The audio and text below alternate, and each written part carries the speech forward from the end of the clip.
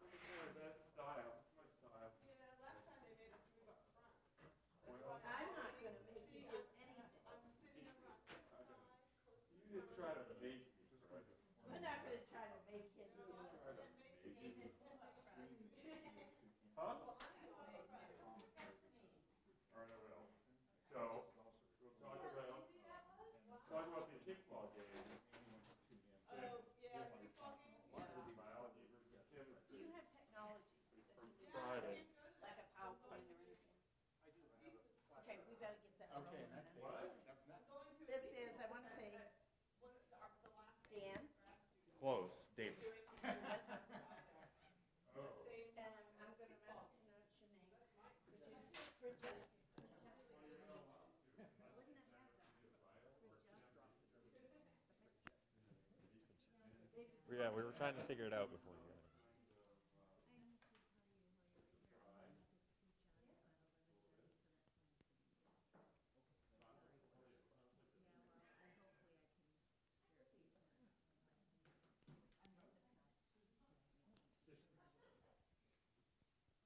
For the sake of the stream, we'll clip you. Okay. Uh, tie okay? Or we'll Whatever just put it- works.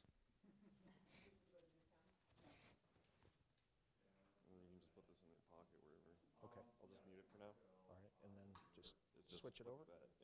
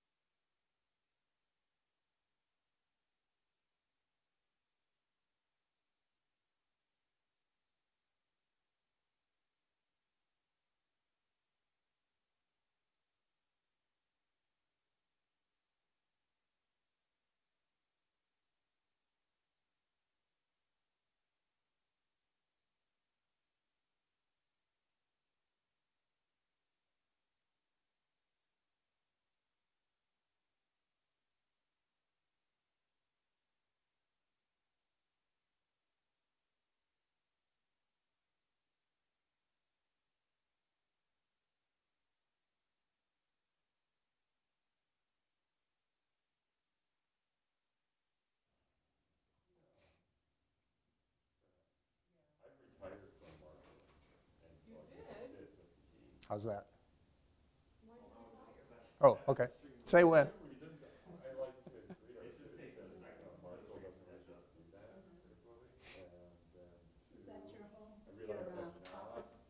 Not my office. That's, that's our uh, campus icon, the, the, the clock tower. That's good? Okay.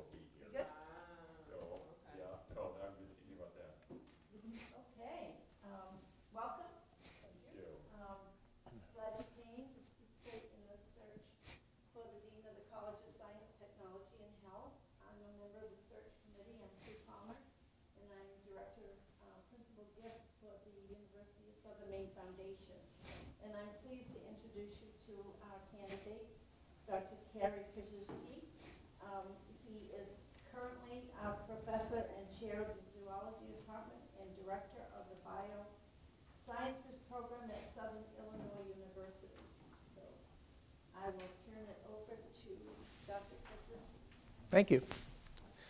Um, Well, thanks for having me on campus. It's uh, great to be back in Portland. It's, I've spent many wonderful visits here. Uh, In fact, apparently I'm what's called a uh, Mainer-in-law.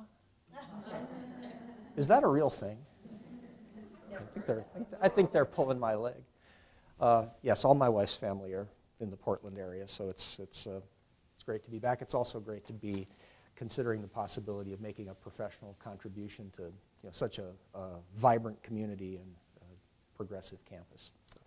You gave me a fairly broad prompt for today's talk. You said, tell us about your vision for the College of Science, Technology, and Health and how your skills and experience will help achieve that vision. So I'm going to try to do that. Uh, I'm, I'm going to warn you that what I have to say is going to be very general. I've, I've only been here for a few hours, and I can only learn so much from studying the website.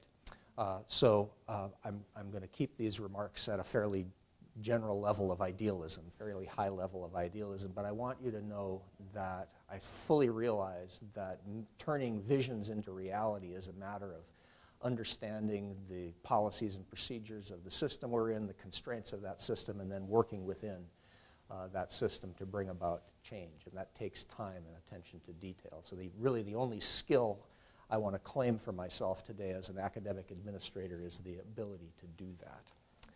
Uh, the title of my talk is Evolving Opportunities in STEM H. And if you're not familiar with that particular acronym, it's Science, Technology, Engineering, Math, and Health. Uh, I think more and more institutions around the country are starting to recognize the value of including health along with the, the, the, the traditional STEM identity. Uh, the health professions capture a lot of public enthusiasm for STEM, and it, they also capture a tremendous amount of student aspirations uh, in terms of career interests. So there's a, there's a tangible benefit here of including health, particularly for this college of science, technology, and health. And I want to pull out two guideposts for, for this vision that I have. Um, and one of them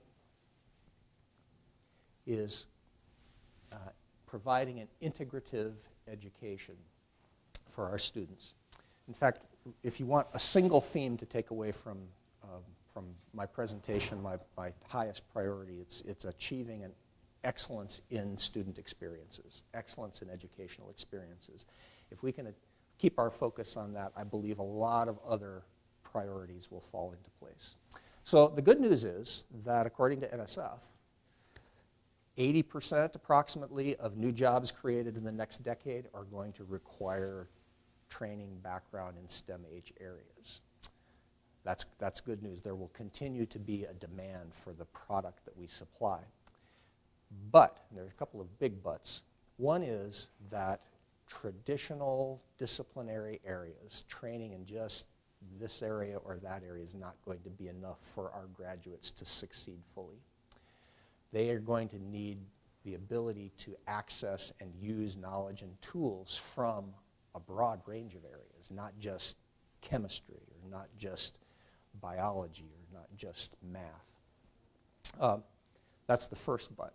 Second but is that our graduates need to, in addition to having professional experiences while they're students, entering the workforce with some experience under their belt, they also need to be fully developed, more, more fully developed as people.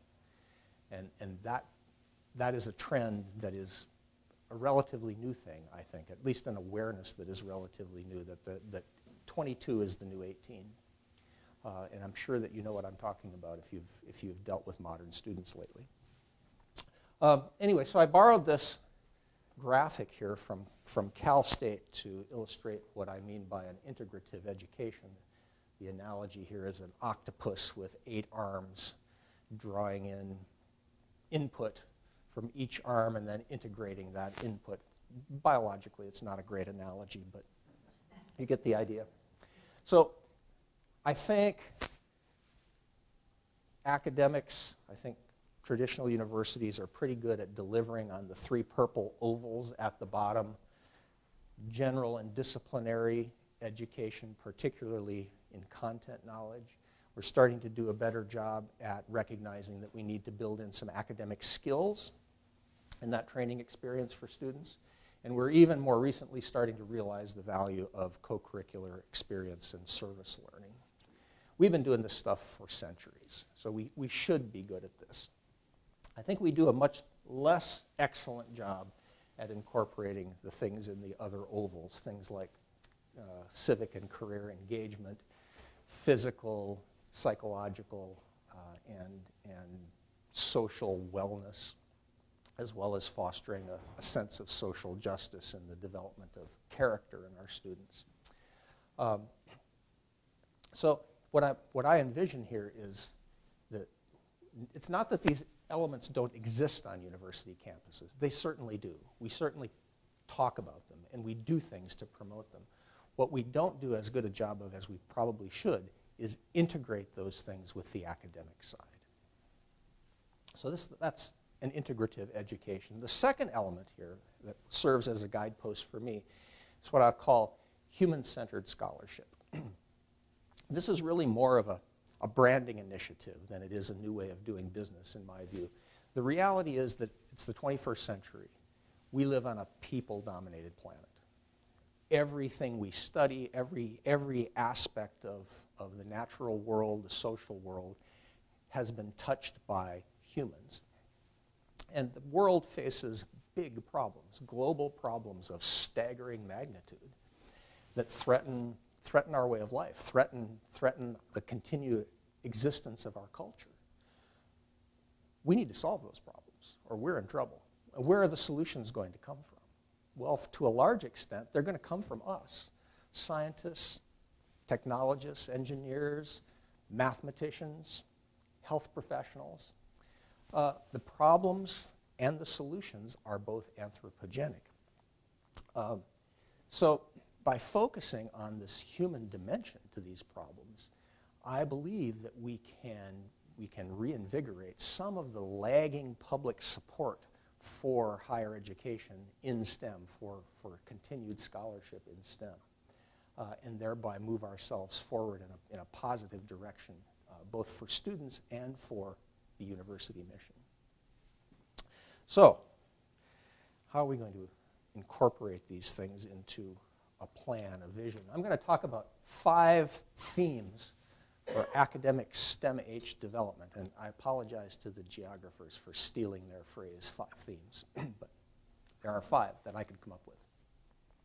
One is curricular enhancement, focusing on the educational experiences that our students have while they're with us. Are those experiences top-notch? Are they effective? Are they, are they producing the learning goals that we set for our students? Are we using state-of-the-art approaches in the classroom and outside the classroom? The second is an emphasis on interdisciplinarity. I'm only going to say that word once, uh, but it's an important word.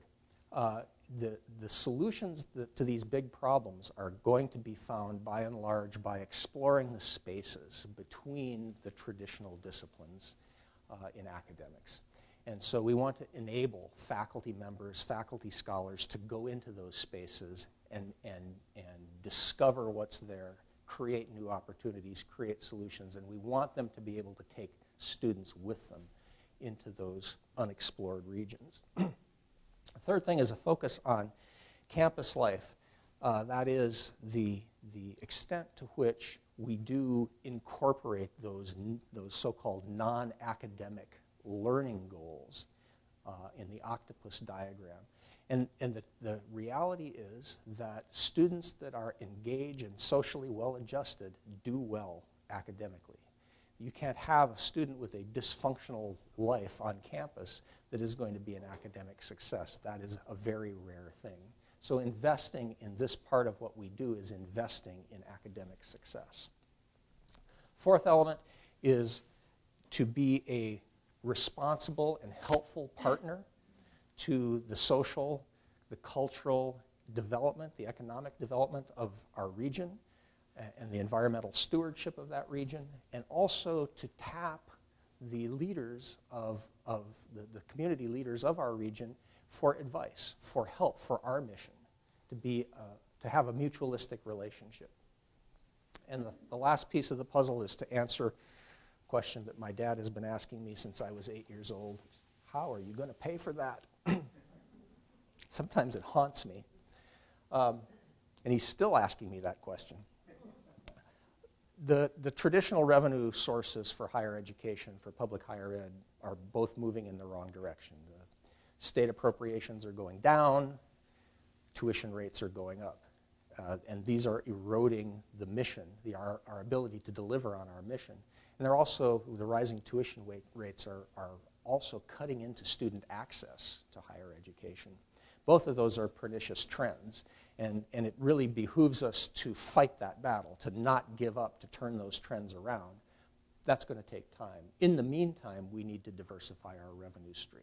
There's several ways to do that, but certainly the most obvious and uh, immediately productive avenue is to grow the endowment. Okay, so what I'm going to do now is I'm going to tell you about how I've been involved with these five things back at SIU as director of the Biological Sciences program and chair of the zoology department. And then I'll sketch a vision. Um, most of my direct involvement in any of these things has been in the area of curricular enhancement. When I first became an administrator, which is about nine years ago now, um, the first initiative that I really tackled was to convert our generic Bachelor of Science degrees into uh, degrees that had professionally oriented tracks. 20 years ago or so, the so-called individualized curriculum probably worked just fine. This is where students had a small number of core classes in their major and then chose from a massive long list of electives. They picked their favorite courses and they graduated with a degree in whatever. Uh, but I think really those days are gone.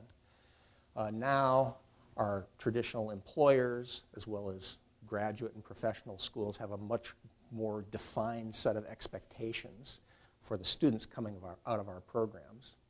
And so what we did was we created these tracks based on two considerations. One was that we have the faculty expertise to train students in these areas. We're not, we're not creating, say, an environmental biology track and putting that on the back of one person.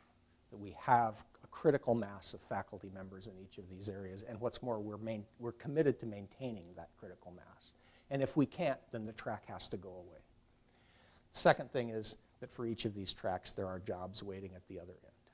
So these, these are, we're, we're, we did not create a track in animal behavior, for example. No offense. we, that would be a cash cow. It would. Our program would, would absolutely cash in. Students would flock to that in great numbers and then be disappointed when they graduated that there was no jobs. Uh, and at the graduate level, uh, we recently went through the same sort of exercise with uh, creating a professional science master's degree in wildlife management. Same exact consideration. Also, uh, I recognized pretty early on that our students were getting very little in the way of uh, professional development opportunities. And, and what they were getting was very haphazard. So, we developed a senior project requirement for all of our zoology majors. Uh, this is something that they do between their sophomore and junior years, or sorry, their sophomore and senior years under the guidance of a faculty mentor. And we, we assign these mentors now in sophomore year to the students, and that gives them an opportunity uh, over the, a protracted period of time of developing a personal relationship with a faculty member in their area of expertise. Uh, so they get, they get a little bit of academic guidance, they get a lot of career counseling, and they get help developing this senior project, this individualized study, which could be undergraduate research, it could be internship, work experience, or some variation on those themes. And since we've done this, we have seen our rates of students going to national meetings, presenting papers, and publishing papers skyrocket.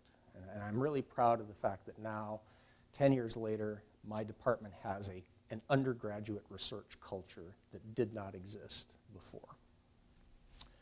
Uh, the last few years, I have been most deeply involved in uh, restructuring our uh, majors biology class, our introductory biology class for all of our life science majors. It's about uh, 200 to 300 freshman students that are majoring in zoology, plant biology, microbiology, physiology. And uh, our class was very traditional. It was three lectures a week, one two hour lab. The lectures were entirely passive, the labs were demonstrations and exercises. Um, and with each passing year, student performance get worse and worse and worse and worse to the point where it was creating retention problems downstream. It was creating time to degree problems. It was, it, we were losing majors because the students simply could not get what they needed out of these classes. That was largely a, a function of changing student preparation levels as well as just the sort of inherent dysfunctionality of this sage on a stage approach. So we, I was developing an interest in STEM education at about this time and with a team of very dedicated instructors, which included faculty members, staff members, graduate students, and undergraduates, we reinvented these classes. It, it took us three years to do it, but we wrote uh, inquiry based, oh, thank you very much. We, we wrote inquiry based labs, we wrote active learning workshops with, with peer instructors. We even did some classroom flipping of those big lecture sections. And we just rolled it out this year. Uh, having read the literature on this in the past, we fully expected that the students would hate it. They did. They resisted with every ounce of energy that they could muster uh, in the first semester. We're now in the second semester, and having gone through that quick, that, that, that, that difficult baptism, now the students are starting to be more engaged with the new course format, and things are starting to turn around. And so we have very high hopes for this. All of these uh, initiatives have been undertaken on the basis of um, assessment data, uh, assessment plans with built-in learning objectives that we thought about very carefully. And, and we use that data to adaptively manage the programs. And I know faculty members hate assessment. I hated assessment. But when I became in charge of whole programs, my, my feeling changed. I, I was forced to ask myself, are the students leaving our program with the abilities, with the knowledge and skills that we think they should have?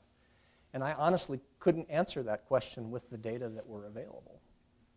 And so we put, we, we had a lot of soul searching about this, and we put together these assessment plans that maybe not what assessment experts would like us to do, but the plans gave us data that mattered to us.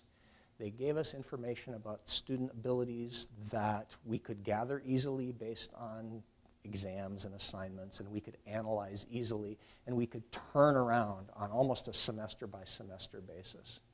Uh, and, and those things now guide uh, all of our program developments. In the category of multidisciplinary scholarship, my university has a, a long history of investing in uh, research centers. These are collections of faculty members from different units across campus, often different colleges, that all share some common expertise that is not captured within departmental boundaries. Um, so, for example, for many years I was the director of the Center for Systematic Biology at SIU. This was uh, faculty members in phylogenetics, from zoology, from plant biology, microbiology, anthropology, geology. Uh, we also now have centers in wildlife biology, fisheries biology, ecology, uh, and then a bunch of other things that are more widely scattered across campus that don't involve me directly. But these centers are really important because they give an identity and a higher profile to interdisciplinary expertise that, it, that, that turns into grant funding, it turns into training programs, particularly for graduate students, and it, it, it really helps explore that space between the traditional disciplines. We recently took advantage of the success of our Ecology Center to develop an interdisciplinary PhD concentration in ecology. It involves six different departments across campus. And this last point about the joint faculty hires uh, is a success story that started with a crisis. When I first became director of biological sciences, I was also the de facto coordinator of the biology education program. And this is our, our high school teacher licensure program. And the crisis was that the, the program had been neglected by the College of Science for a long time. And, and yet it was coming up for accreditation in just a couple of years, reaccreditation. Um, and we stood a good chance of losing the program if something wasn't done. And at this point, you know, I didn't know anything about accreditation or licensure. I didn't know much about pedagogy for that matter. Um, so fortunately, my colleagues in the College of Education took me under their wing. They coached me up, and with a lot of help from them, we got the assessment reports written, or the accreditation reports written, and we did get accredited. Um, but the real success story came when all the crisis had passed, and I was actively advising students in this area. I had managed to open a conversation with our two deans, the Dean of Education and the Dean of Science, say, you know, training science teachers, training for, for K-12 positions is a really high priority. It's a really high priority. It's a, it's a socially significant thing. We have one science education program on campus, and nobody's involved in it. We should invest in this. And I persuaded them. And so the, the, the, happy ending is that after six years of me running this program, we got not one but two new faculty positions in science education. We got one in chemistry, one in earth science. They are cross-appointed in science, in, in those departments in science and in the College of Education. So finally, our high school teachers are being trained by someone who knows what they're doing. Um, in the category of promoting an integration between academics and student life.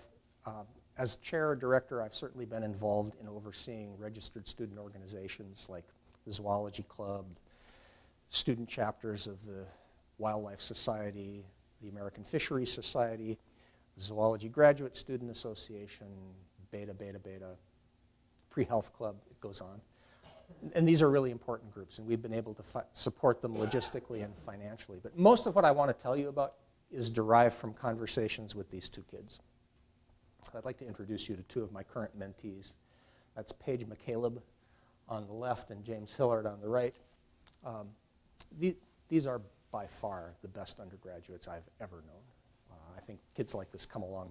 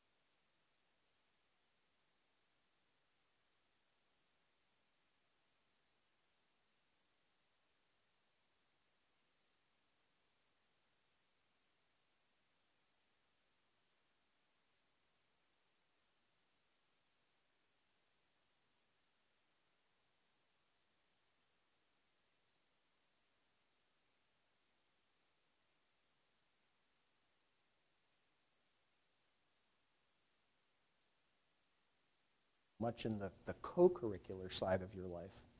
And I got two responses. One is, first of all, this is really important to them. These are, these are the best students I've ever known, and they claim that part of the reason they are that way is because of this rich campus experience that, that they've invested their time in. The second thing is the regular tensions that arise between that co-curricular side of their life and the academic side.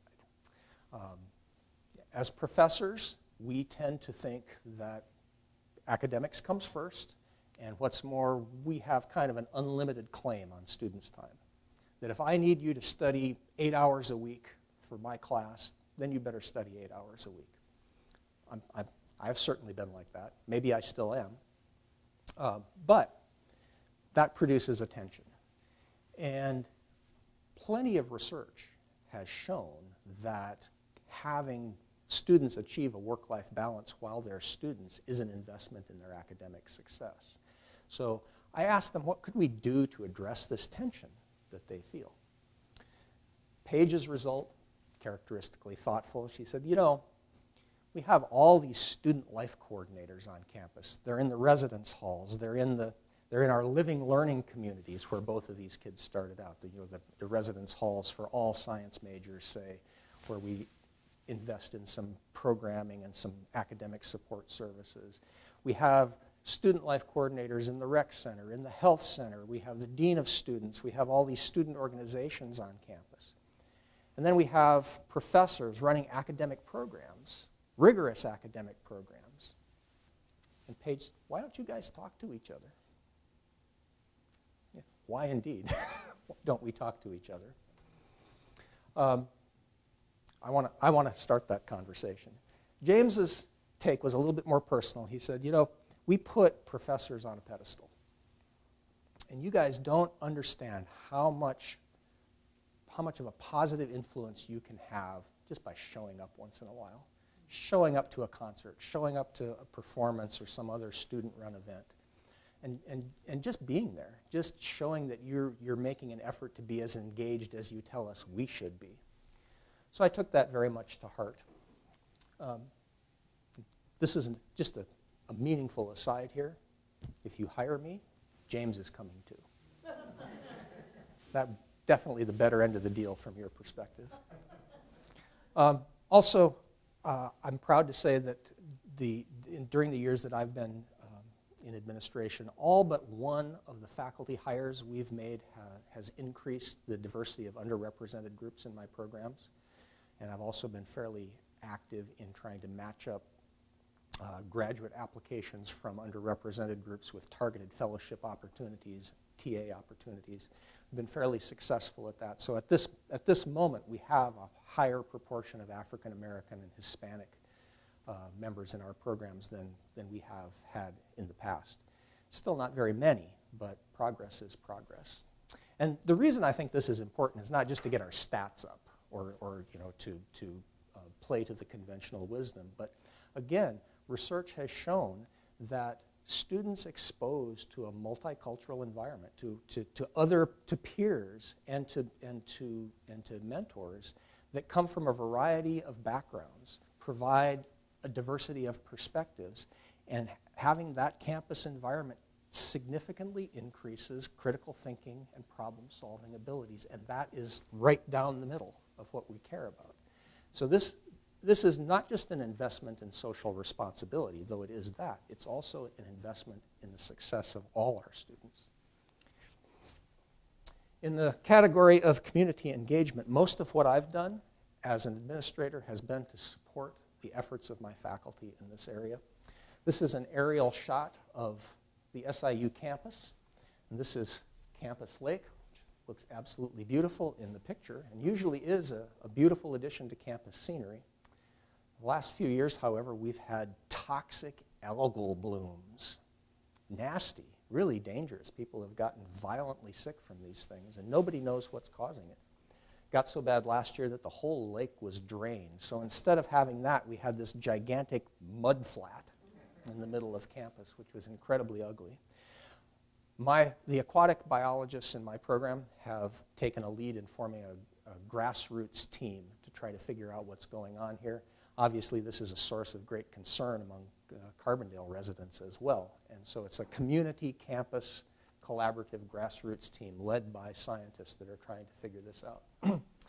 and if you see back here, you just make out another southern Illinois landmark. That's Crab Orchard Lake. Uh, it's a man-made lake, a very big man-made lake that's uh, really popular for sport fishing and recreational boating and things like that. It's also a Superfund site. with the serious heavy metal contamination.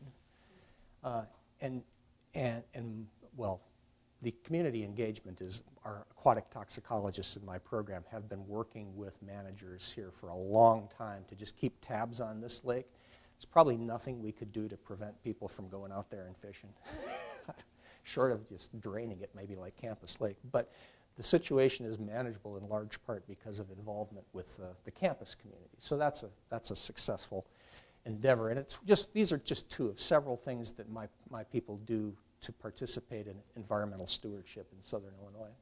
I also have several faculty members who are very committed to uh, reaching out to area K-12 schools. They go to the classrooms, they present programs, they have student groups come to campus and uh, do things in our labs. We have these really nice uh, aquaria, freshwater, and a marine aquarium that the kids just love. And those have been a focal point for lots of programs like Upward Bound workshops and things like that. Now, I'm not claiming much credit for any of these faculty activities. What I will claim credit for is that I have been able to be very aggressive about getting these things credited as professional service and getting, getting them put into the workload calculation for the faculty members who choose to invest their time this way. This is a declared aspect of, of the university's mission. Being a faculty member is a professional act. And these things are not volunteer work. They are, they are on load. And I have insisted that they be credited as on load. And, and so far, successfully. I myself have been involved in a variety of uh, internship arrangements with local animal shelters, vet clinics, uh, local hospitals for job shadowing arrangements and things like that. So I have some familiarity with that off-campus internship aspect. In the in the last category, fundraising, uh, started out with a little bit of a rocky experience. When I first became chair of zoology, I met right away with our development officer in the college, and I told her how anxious I was to get some experience with fundraising because you know we're so stressed for, for money that I wanted to invest some time in this. She responded very politely but very firmly, well, we don't usually let chairs talk to donors. We're afraid they'll screw it up. Uh, so, for several years after that, my role was primarily to provide some fundraising priorities, some talking points about the department. But a couple of years ago, I found myself at one end of a conversation with this gentleman, uh, William Hill. Mr. Hill is a 1925 alum of the zoology department had a long career working in the Food and Drug Administration. He retired to Kansas City several years ago. I don't know, and sometime in the early 2000s, he set up a small scholarship for students in zoology, which we give out every year. Uh, but he had been in touch with the foundation about the possibility of, of giving us a bigger gift. Uh, but he had, he had several concerns about what we would do with that money. Could, you know, could we promise to abide by his wishes with who got the money and things like this. So we started a conversation. It was indirect for the most part, working through the foundation. But over the course of one long summer, uh, we ironed out all of these, what turned out to be relatively complex issues. Um, we got his concerns re resolved, we got his stipulations in place, and he gave us $750,000 two years ago, which has been just fantastic as a source of scholarships for our students. Um, and I did not screw that up. I did not screw it up. My real inspiration for fundraising, however, comes from the, the, the, lady on the right there. That is my friend and colleague, Lori Achenbach. Uh, we've known each other for 28 years. She was in the microbiology department just two doors down from my office. We grew up about 30 miles apart from each other in northern Minnesota. For the last five years, she's been my boss, my dean. Um, in the last year of her deanship, she just retired last summer, um, she, wanted, she wanted to take on a new challenge, and she threw herself into fundraising. Uh, we had just started a three year campaign. College of Science had been given a $5 million goal, and at the end of her gung ho year of fundraising, Lori had generated $7.5 million of donations. And, and because she's a friend, I was able to talk to her throughout this process to, to try and gain some understanding of what was behind this phenomenal success. And it wasn't complicated, really. It was a lot of time, a lot of time, time on the road, time on the phone, time answering emails, communicating with donors, establishing relationships, working with the foundation, and also having a intimate knowledge of what was going on in the college, student successes, faculty successes, uh, and, and projecting a genuine pride and confidence in those programs, even in our case in a time of crisis. Um, so now I've started to see the flip side of this, the benefits of the money. This money is starting to become available now, and, and the benefits are substantial. So, what's my vision? We have about 12, 15 minutes, Perfect. and I want to give folks a chance to ask a couple Okay. questions if they want. Well, my vision is pretty sketchy because, again, I have to keep it general. So I will tie it to these five areas. And you can probably imagine what it is. First of all, I envision a college with a modern, effective STEM H curriculum that, is, that evolves according to well thought out learning objectives and assessment protocols, that, in, that, and a faculty that embrace modern best practices in STEM education. A college that invests to, what, to the greatest extent possible in creating modern learning spaces for the students, uh, that invests in professional development opportunities for students, both co-curricular experiences on campus and off campus, things like internships and, and other relationships, and a set of high quality online options that promote student achievement and also improve the access of students to higher education, but not an online development program that is primarily seen as a low overhead cash cow for generating revenue. I've seen that. I won't do that. Um, all of this is embedded in what I call a scholarly ecosystem. This is a network of interactions between undergraduates, graduate students, and faculty members that produces synergies that, that promote student success and student exploration of those, of those new spaces. Um, and in this equation, graduate students are an important component.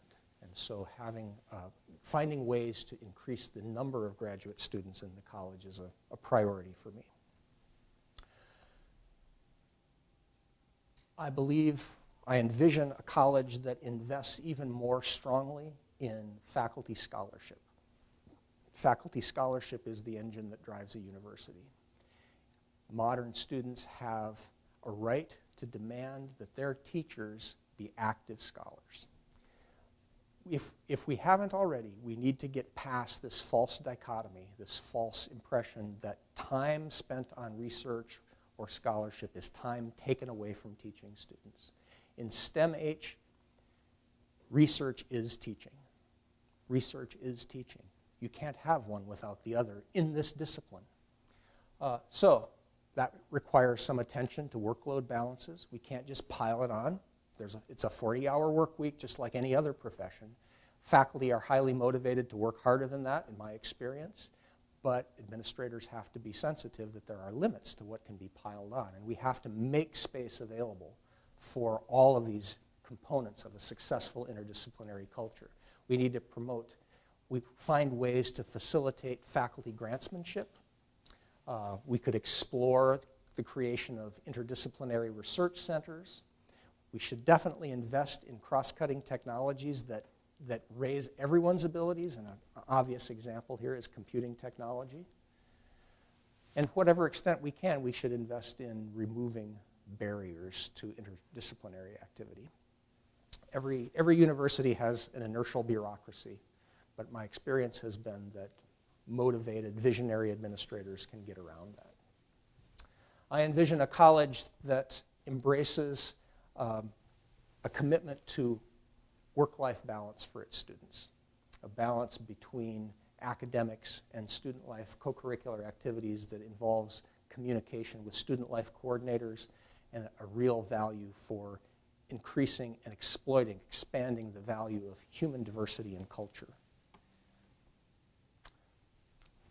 I certainly think you've got a, a great, you've made a great beginning in um, making connections with off-campus partners in healthcare, sustainable development activities, information technology. Certainly we can expand on those and enrich those uh, partnerships for mutual benefit. For our benefit that we get the perspective of off-campus experts and for their benefit. We are supplying their workforce after all.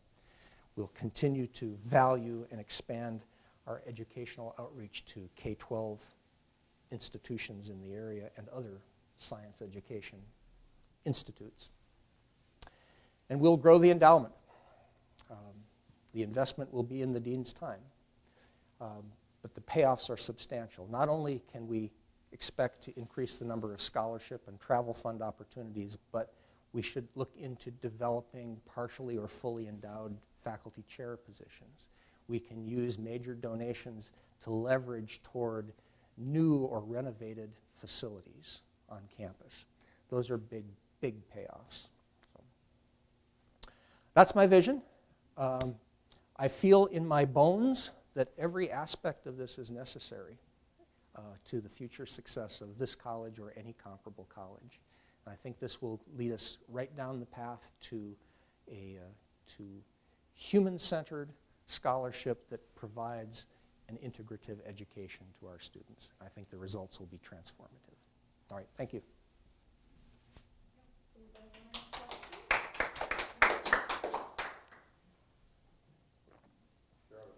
Yeah.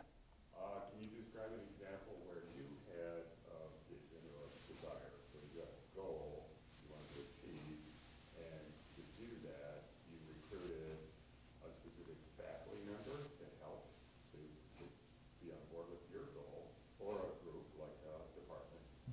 And then can you also describe an example where a faculty member or a department group were doing something and got you on board?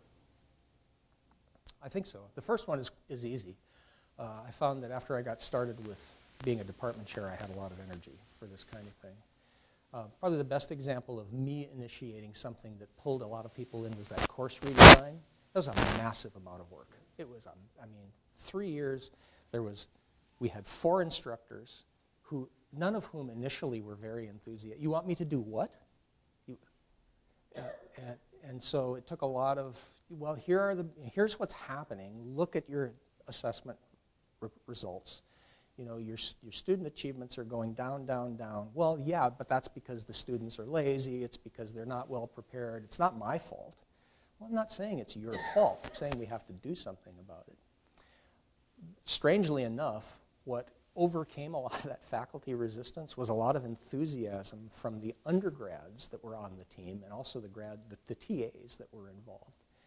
Um, the, the, these young people were very energetic about, oh yeah, we can do this better, we can do this better. We had a couple of students from our biology education program, really good students that were training to be high school teachers who just brought that perspective and, and introduced us to that professional literature.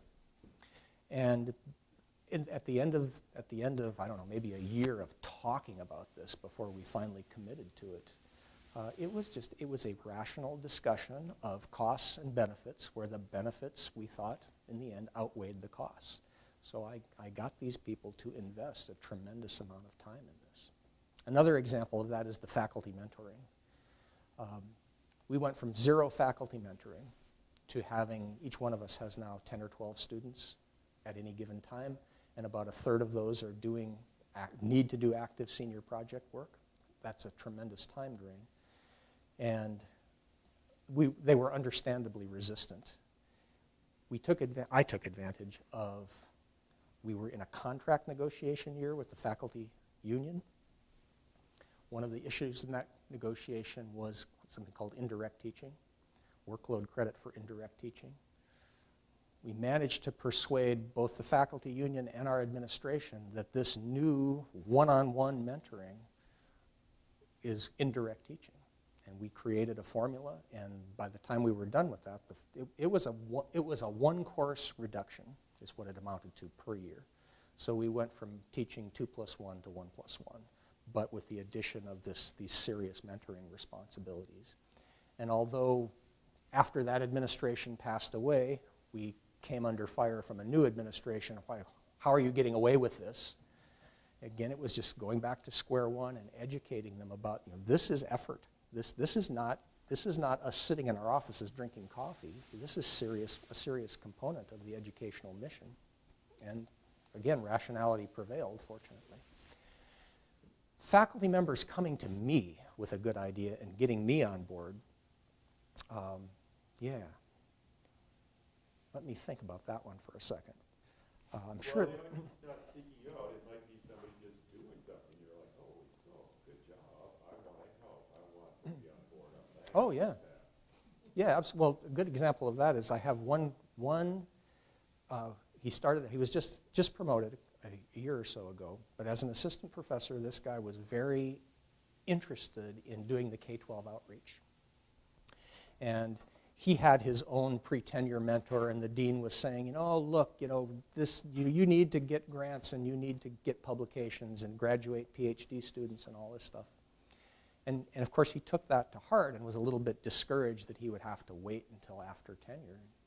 But he started doing a little bit of this on his own time with results that were really positive. I was getting thank you notes, you know, long thank you emails from teachers in the area. So I went to bat for him. I, I went to the dean prior to his next pre-tenure meeting, and I said, look, this, this is important. And he's willing to do this, and, and this is service. So let's give him credit for it. Let's not tell him that, no, you have to get on an editorial board or you have to be a vice president in your society or something. And that was a major component of the service in his tenure dossier, and he, he, he was successful in getting tenure. So I feel good about that. I wish more of my faculty had that kind of energy.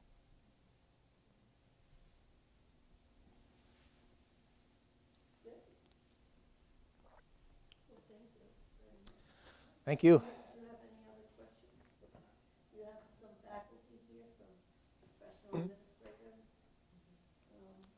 Do you I have questions? Do you have any? We've got, let's see, three minutes. No breaks here. Do I have any questions for you?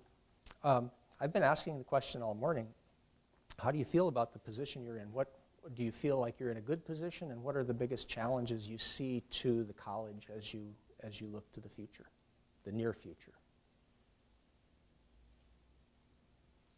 Where, where, where do you want the strongest leadership from your new dean? Um, my my name's Bonnie Stearns, I'm the senior staff for academic administration for the college. And, um, I like some of the things that you touched upon. Um, financially, we could definitely use some additional support. Um, uh, I help to manage the, the college scholarship process. And we have some departments who have a lot of wonderful scholarships to give students, and we have others that don't have any to give to students. And so it'd be nice to have a little more equity Yeah. across our academic departments for um, rewarding their good students. Because they're, you know, they're all good and they're all deserving, but sometimes we just don't have the funds to give them that. Um, I think that we are, we're not promoted as much as we should. I think our college does a lot of really fabulous, wonderful things, engaging in the community, um, outreach, research, um, all sorts of things, and I don't think that we get recognized for that sometimes. So I think Can I, can I just say on that point that having spent the last week or so studying your website in detail, whoever does that does a great job. Uh, a lot of those stories that are presented, the videos that are on there, I mean, that, tho- those are very impressive. So, I mean, those are a couple areas. We can talk about a few more, but those, um, you know, we're not really good at tooting our own horn. You know, we need to be better at that. That's a low-cost activity, tooting your own horn. That doesn't cost too much money. So yeah, that, there's certainly room for improvement there. Thank you. Thank you for coming in. have some evaluation forms. If you don't have one, then they should be in by Monday. Thanks again, everyone. I like your five,